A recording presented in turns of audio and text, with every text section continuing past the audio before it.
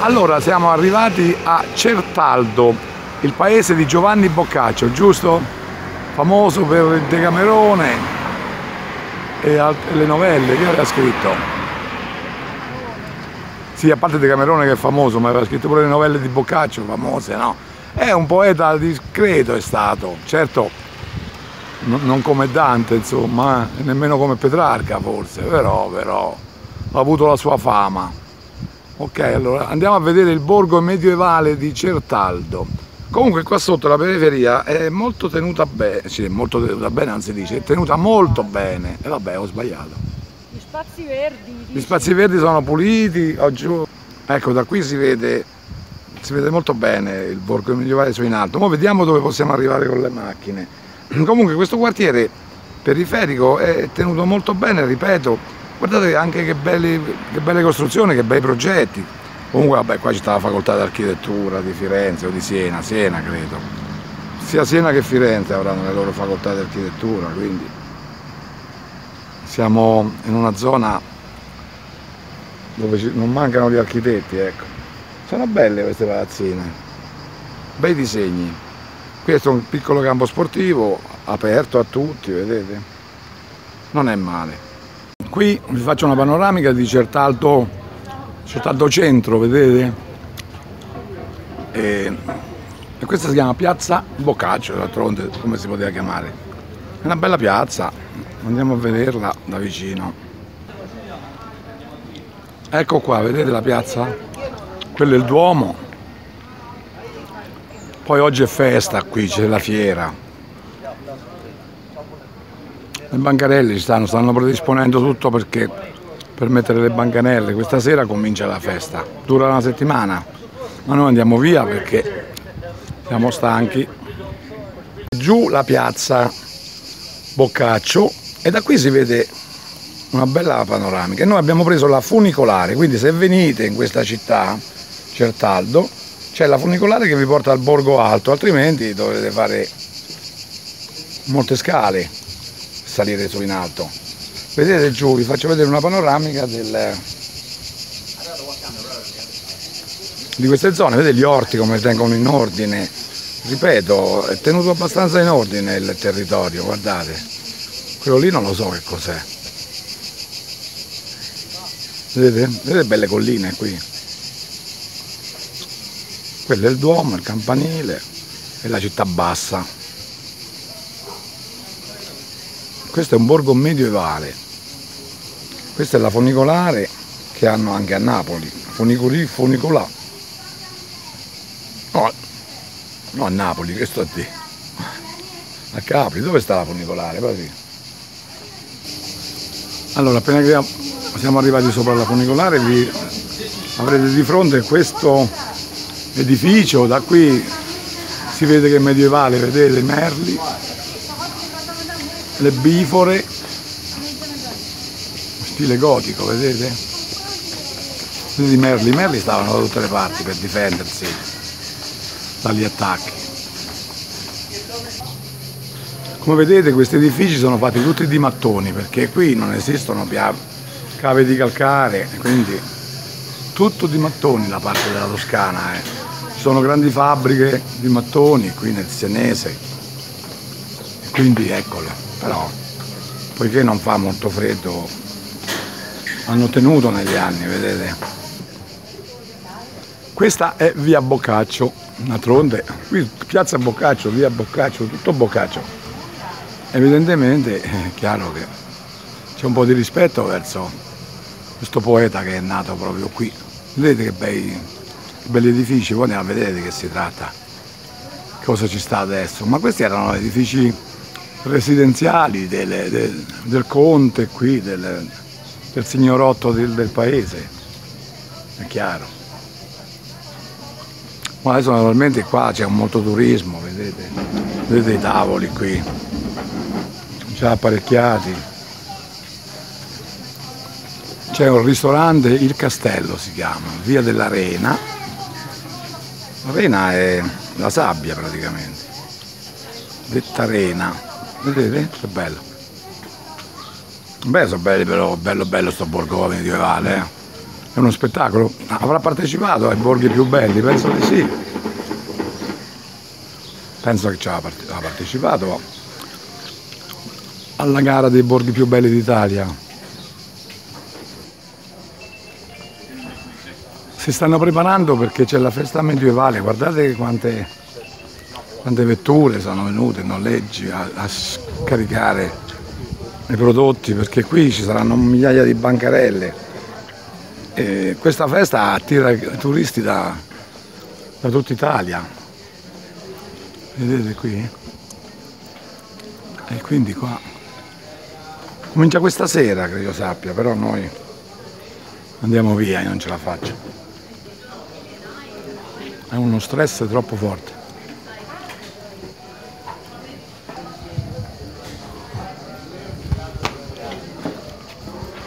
Vedete, quello su è il castello allora, è quello su il castello.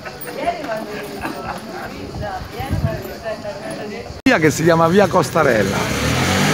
Qui c'è un'esposizione di quadri, di quadri d'autore, vedete, si chiama Farfalla di Luce farfalle di luce, ma veramente uno spettacolo, era da venire quando c'era questa manifestazione, la sera. In, queste, in questi cortili, vedete, hanno organizzato, ci saranno degli spettacoli, guardate, già hanno già messo le luci, vediamo che spettacolo fanno qui, eh? lo diranno.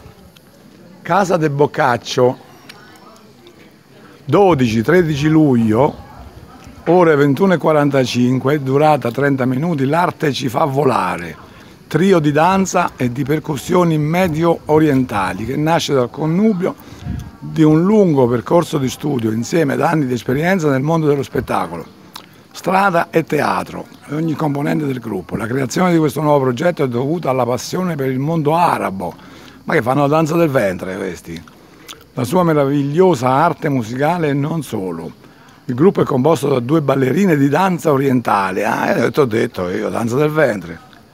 Cioè, è chiaro che voleva essere. Che si esibiranno nelle varie forme espressive di questa danza che da un professionista di darbuca, che cos'è questo? Un tamburo a cornice, tipiche e indispensabili percussioni della musica in questione. Quindi è quella musica così proprio accattivante, no? Che ballano queste l'abbiamo vista nei film, a Ben-Hur l'abbiamo vista in altri film. Benissimo. Guardate, guardate quanti turisti, guardate, eppure è un giorno feriale, è un caldo atroce, 40 gradi credo che stiamo.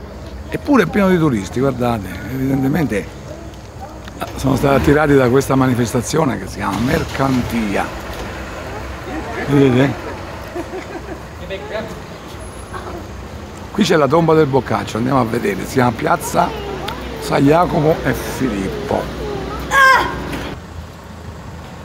Allora, in questa chiesa che si chiama Chiesa di Santissimi Jacopo e Filippo, XIII secolo, riposa in pace l'urna di Beata Giulia e c'è la tomba di Giovanni Boccaccio. Beata Giulia ci sta. Santa Messa, domenica e festivi. Dentro è molto buia, vi faccio vedere, ma è impossibile farci qualche cosa. Effettivamente è molto buia. Ma io credo che questa chiesa sia stata rifatta però, possibile che era così. La vedo troppo perfetta. Io la vedo troppo perfetta, secondo me è stata ricostruita questa. La storia di questa chiesa. Mm? Non lo so.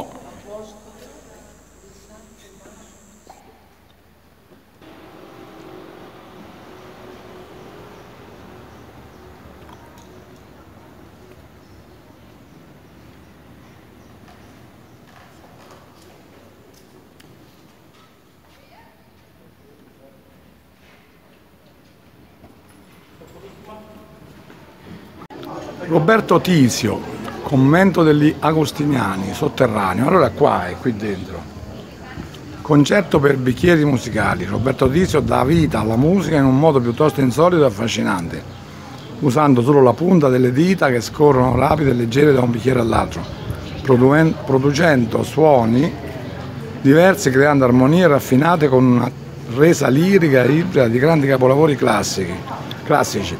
Sicuramente sarà bellissimo, sicuro. Vi faccio una panoramica di questo cortile, bellissimo. Museo di arte sacra, qui c'è. Beh, insomma, è tenuto veramente bene questo borgo medievale, pulito, ordinato. Io non posso dire niente. Però purtroppo, cioè purtroppo è così, deve essere. Ogni cosa, la funicolare si paga, l'ingresso si paga, i parcheggi si pagano, eh, si paga tutto, insomma. Non costa molto, eh, biglietto ridotto 2 euro, biglietto cumulativo 5 euro. Però insomma è pure giusto così che si paghi perché altrimenti non si può mantenere questo, questo patrimonio. Se nessuno paga è impossibile mantenere il patrimonio artistico se nessuno paga. Non si possono fabbricare i soldi ci sarebbe l'inflazione La chiesa di Santissimi Jacopo e Filippo è originaria del XII e XIII secolo. A navata unica, ospita all'interno affreschi, sculture ciborie in terracotta invetrata. Di scuola robbiana, al centro, accanto al bassorilievo raffigurante Boccaccio, si trova la tomba del poeta. La chiesa ospita anche l'urna di Bea Giulia, dalla chiesa si accede al convento degli Agostiniani, dotato di un chiostro romanico particolarmente suggestivo che permette l'accesso della cella della Beata Giulia, rimasta integra nel tempo. Rivendita sale e tabacchi, osteria toscana, osteria da Chichibio, prezzo fisso menù 19 euro. Salame alla cipolla di Certaldo, quindi nella bassa qui producono grandi grandi quantità di cipolle, come la cipolla di Tropea, qui c'è la cipolla di Certaldo. Menù toscano comprende zuppa di cipolle di Certaldo, piatto con salumi toscani, poi mezzo litro di acqua, un quarto di vino rosso, o bianco sarà sicuramente, o pane, coperto e servizio a tavola. Prezzo turistico questo è.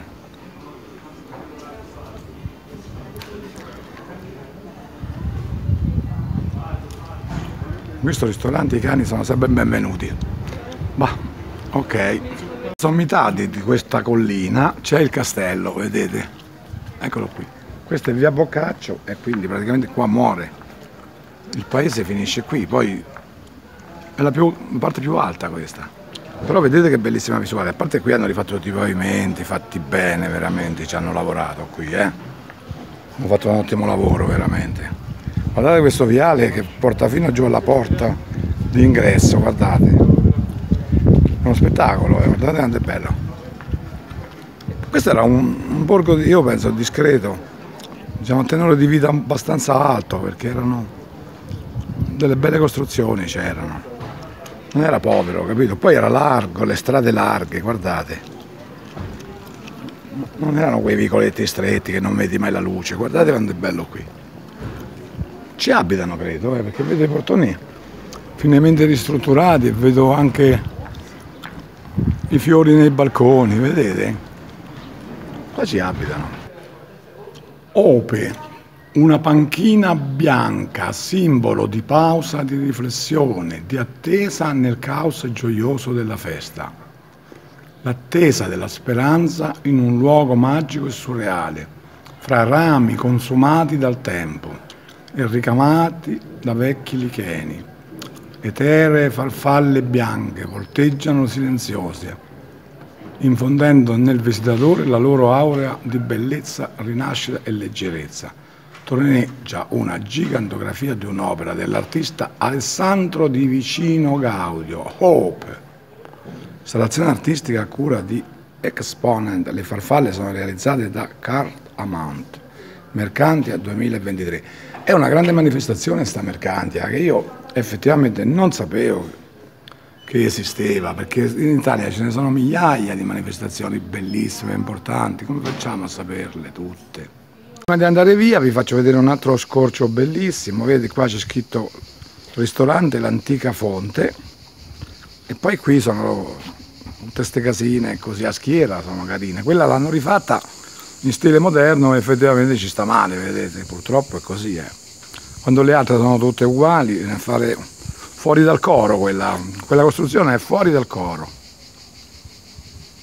Si chiama Farfalle di Luci, sono appese tutte opere d'arte di pittori contemporanei.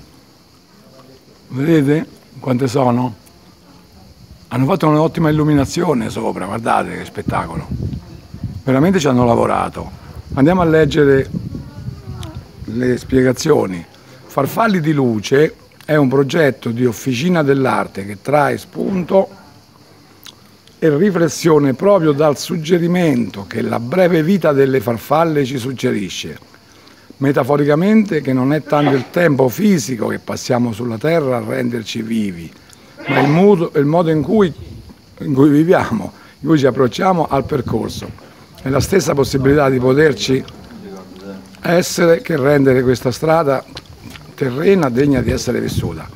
Possiamo scorgere allora dietro tutto questo è un significato meraviglioso e profondo che riunisce fluidamente un misterioso legame, la precarietà della vita terrena con l'eternità opere pittoriche di artisti dell'Associazione Officina dell'Arte. Pittori sono Emanuele Bevilacqua, Filippo Capperucci, Katie Malechi, Federico Micheloni, madonna quanti artisti abbiamo, Moac, Michela Riccio, Giorgia Salvini, Sabrina Taddei. Metamorfosi del bozzolo, vedete? il bruco, qui c'è un pinocchio che è venuto dal legno, metamorfosi del legno, qui questa non mi ricordo che cos'era, andiamo a leggerlo. Metamorfosi, visione in trasformazione. La metamorfosi del bozzolo come involucro e custode di visioni che evolvono in molteplici forme. Eh? Sentite il canto incessante delle cicale, che è una cosa pazzesca. Comunque loro hanno messo questa rete a protezione, come quella che si mette per gli ulivi, per raccogliere gli ulivi. Così non casca, non casca l'immondizia sotto, sopra i tavoli. Qui c'è una pizzeria questa. È un bel brevetto questo, ottima idea. Poi intanto la puliscono